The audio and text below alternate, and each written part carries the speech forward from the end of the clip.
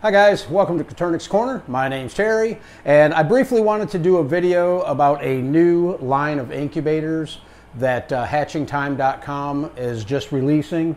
Um, this incubator is a model CT60SH, and the SH stands for Setter Hatcher. Um, there are three different models in this line. There is the CT60, the 120, and the 180. Uh, the CT60 will hold 156 quail eggs, and the uh, CT180 will hold 468 quail eggs. Um, these are both a incubator and a hatcher. Um, the incubators come with two uh, Turner trays and they also come with two hatching trays. Uh, so once you take your eggs out of incubation and you go into lockdown, uh, you take them out of the turners, you place them in these hatching trays, and the hatching trays just slide right into the incubator. Um, from what I can see so far, these incubators are very well made. Uh, the doors seal perfectly tight. It's got a nice latch on it. Um, go ahead and fire this one up real quick. Um, the incubator also has temperature and humidity control. Uh, there is a basin on top. There's also another basin on the side which controls the amount of humidity in the incubator. Um, the regulator is basically the same type of regulators that uh, we use on our DIY incubators, uh, very similar to the Inkbirds. Uh, you've got your temperature set, you've got a humidity set, um, the incubator also has a feature that is not currently available on any other models, and that is called active periodic cooling. And what that does is when set, it will uh, reduce the temperature inside the uh, incubator to a set value and also reduce the humidity. And uh, I want to read a little excerpt from their website real quick on the active periodic cooling.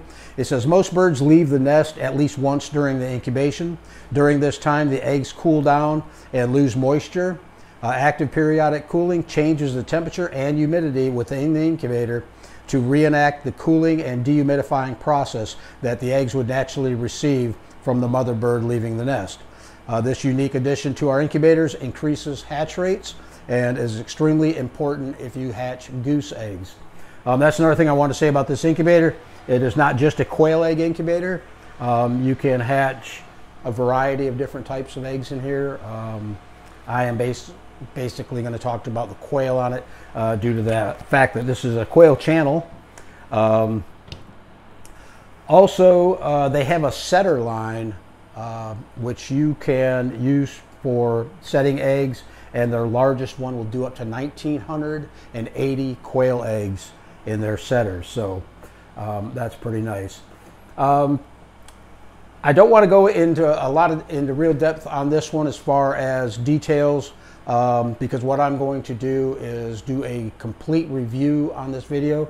Uh, what I'm going to do is uh, I'm going to set some eggs probably this week and we're going to go ahead and hatch them out and uh, after the chicks hatch, we will come back do a review video on the incubator, uh, tell you about all the features that this thing has to offer, what I like, what I don't like, how well the incubator worked during the process. Um, I'm also going to go over all the controls, how to set your temperature, your humidity, um, yeah, pretty much everything that the incubator has, you know, as far as feature-wise. Um, another thing I like about this incubator, it's got a, a light in the inside. You just press that little button here on the regulator. There's a light down there. I don't know how well you can see in there. I'll get the other camera out and show you a little bit more detail in here. But down on the bottom, you've got uh, your water tray um, for humidity.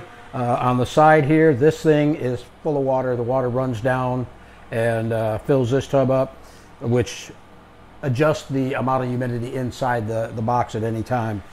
Um, it's also got adjustable air vents on the sides and on the back. This is what really caught my eye.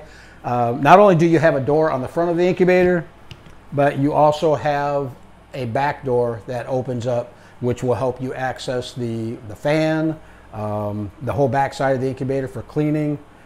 Okay, guys, so like I said, I'm really excited about reviewing this incubator. I am going to set some eggs this week, and we'll do a complete review after those eggs have hatched out.